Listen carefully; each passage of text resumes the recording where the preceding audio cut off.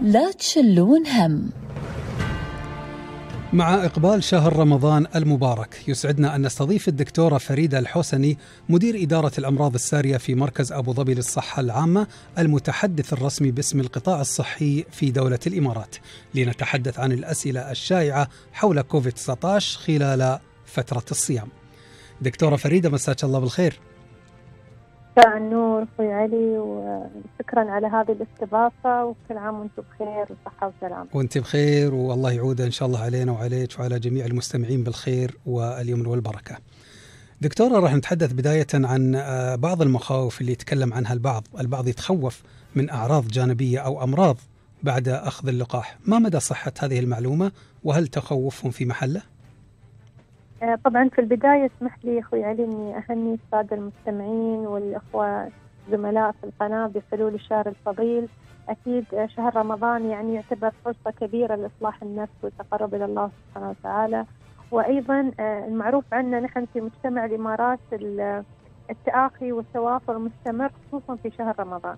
نعم. فنحن حاضرين إن شاء الله بالإجابة على الاستفسارات بخصوص آه، الآثار الجانبية. طبعا آه، يستمر متابعة آه، كافة الآثار الجانبية اللي يتم تسجيلها ولكن نلاحظ أنها آه، لا تختلف لحد الآن عن أي تطعيم آخر بحيث أنها بسيطة والآثار هي تعتبر يعني بسيطة إلى متوسطة. أكثر الآثار الجانبية شيوعا هي طبعا آلام في منطقة اللقاح. آه، أو حرارة آه، أو آلام في المفاصل بعد عدة أيام آه، فنلاحظ أن الأغلب الأعراض هذه بسيطة ويعني لا تحتاج أي علاج طبي ويتم متابعتها بشكل مستمر من قبل القطاع الصحي. جميل، طيب مع دخول شهر رمضان شو هي الإجراءات الاحترازية والصحية لصيام شهر رمضان في عصر كورونا لتفادي أي أعراض من أعراض كورونا؟ طبعا أكيد أن نحن اليوم لازلنا نعيش في ظروف استثنائية في هذا الوقت ومن المهم جدا علينا إن إحنا نتكاتف ونضع المسؤولية المجتمعية نصف أعيننا، فهناك بعض الإجراءات الوقائية اللي ننصح فيها الأشخاص خلال شهر رمضان المبارك بما فيها تقليل آه، الزيارات آه، خارج نطاق المنزل خصوصا المجالس والتجمعات اللي تحصل آه، في بعض الأحيان فنحاول قدر الإمكان نقلل من هذه التجمعات الكبيرة ونقتصر الزيارات على المستوى العائلي. أيضا آه، تجنب آه، تبادل الأطعمة والمشروبات وهي طبعا عادة جميلة عندنا في مجتمعنا ولكن في صحيح. هذا الوقت بالذات نحاول أن إحنا نتجنبها آه، خلال هذه الأوقات أيضا بخصوص الصدقة نفضل أن تكون بطريق إلكتروني وبالتعاون مع الجهات المعنية في الدولة. موضوع أيضا توزيع المصاحف أو الأوراق يفضل أن نحن نكتفي بقراءة القرآن عن طريق الأجهزة الإلكترونية ونتجنب التوزيعات اللي ممكن تصير خلال التهاني برمضان في موضوع أي شيء ورقي. يعني يفضل أن إحنا نتجنبه. أيضا الالتزام بالفترة المسموحة لقضائها في المسجد. يعني للأسف إنه يمكن التطويل في المساجد في الوقت الحالي يفضل تجنبه. نحاول نقلل قدر الإمكان من زيارات كبار السن وأصحاب الأمراض.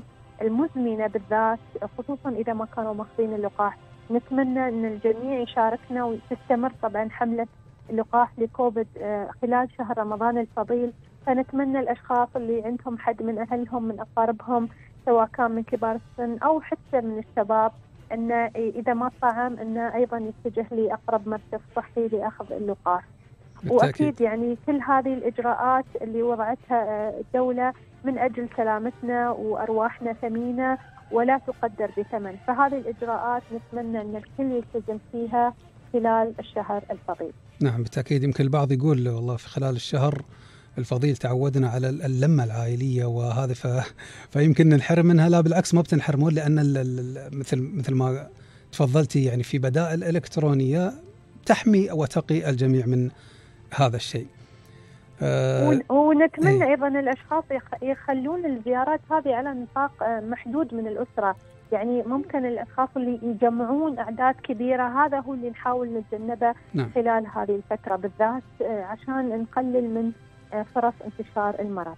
طيب كيف الصائم ممكن إنه يلبي هذه الاحترازات الصحية عشان يتجنب أي إصابة بكورونا داخل المنزل أو خارجه أو حتى أثناء التسوق وفي العمل، كيف ممكن للصائم إنه يلبي هذه الإجراءات الاحترازية؟ طبعا اليوم يعني آه، التعايش مع مرض كورونا أصبح ضرورة فبالتالي يعني ممكن الذهاب للعمل في النطاق اللي حددتها الجهة الجهات المسؤولة حسب طبيعة العمل. ولكن أيضا اليوم رمضان مع يعني فرصة كبيرة لرفع المناعة لدى الأشخاص. فاليوم الصيام آه، أكيد انه له فوائد كثيرة. فايضا الاستفادة من هذا الوقت في رفع مناعة الجسم. السلوك الفردي بشكل عام لازم نرد نشدد عليه ونقول أن التطعيم آه، كثير من الأشخاص ممكن يتهاون ويقول أنا مطعم فمش لازم مثلا ألبس الكمام أو أني أحافظ على المسافات. إحنا نقول إن التطعيم هو مكمل للإجراءات الوقائية وليس بديل.